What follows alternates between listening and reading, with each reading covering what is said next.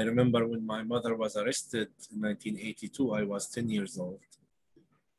And for the sudden, like another new identity has been opened to me, which is the revolutionary identity, rising against the occupation from a very personal point as a child who wanted uh, not exactly revenge, who wanted justice, let me put it this way.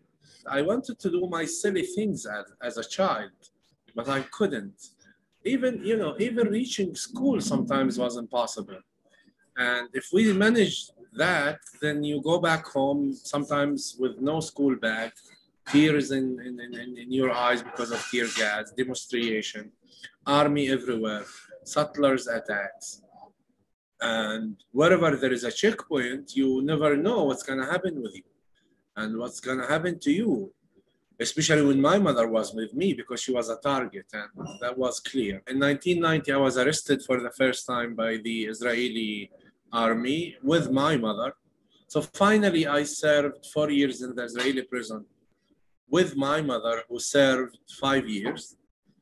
And for me, going to prison was, uh, you know, was uh, the, the, the break of my dreams, the break of my hopes. I didn't want to spend the best years of my life in prison. And what all what I did and all what I practice is my my cause of freedom, all what I wanted. Then we decided to go for a hunger strike. Yes, both you and your mother, right? Yes, 17 days of starving. And after 17 days of that really hard struggle, we managed to meet. And I remember coming back to prison, so proud of myself, of my mother. But something inside me has changed. Suddenly, this young man who thought that Israel understand just violence there is a new option in life to achieve freedom and the best weapon that i have never used before.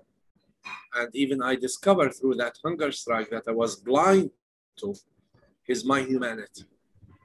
So i start learning about mahatma gandhi about martin luther king about mandela who's my biggest inspiration. And listen the issue of revenge even after i lost my brother he was killed by the Israeli army in 2000. I was wounded also by settlers.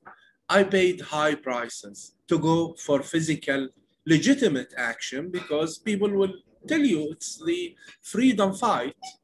It's moral, it's legitimate. Someone occupy your land, so you fight back. But things are not easy this way. Things are much complicated than that. On the other hand, what I want to say that the best revenge of the occupation is to celebrate our existence as victims, not to become victims of the system.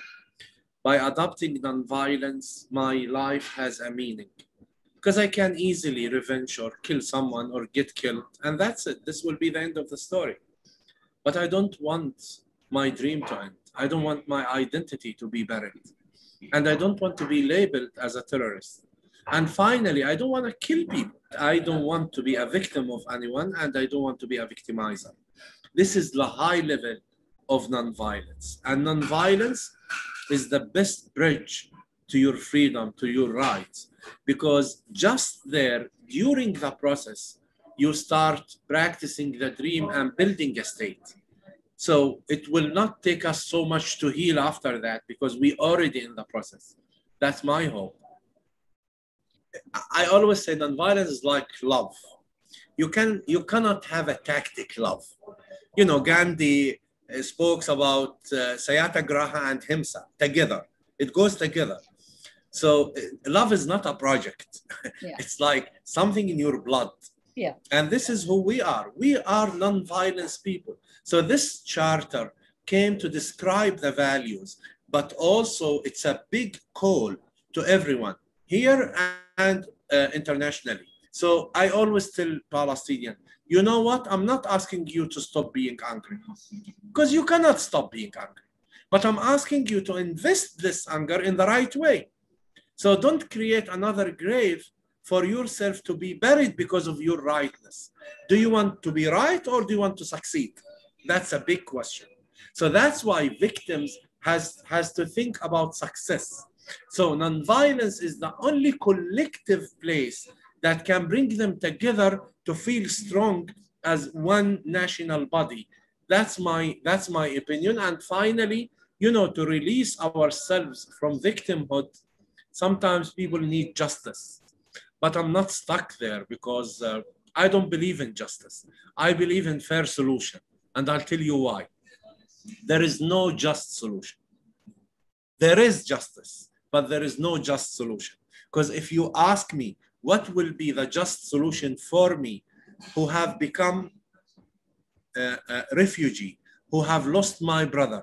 What is justice for me is to have him back. What is justice for Robbie is to have David back, his her son. That's justice. But then, does that mean there is no justice and life is just hell? No, I'm not saying that. I'm saying what Malcolm X said. He said, justice is just us. So I'm not expecting anyone to give me justice. I have to be just to myself by not being the victim that the victimizers wanted me to be. That's what I meant.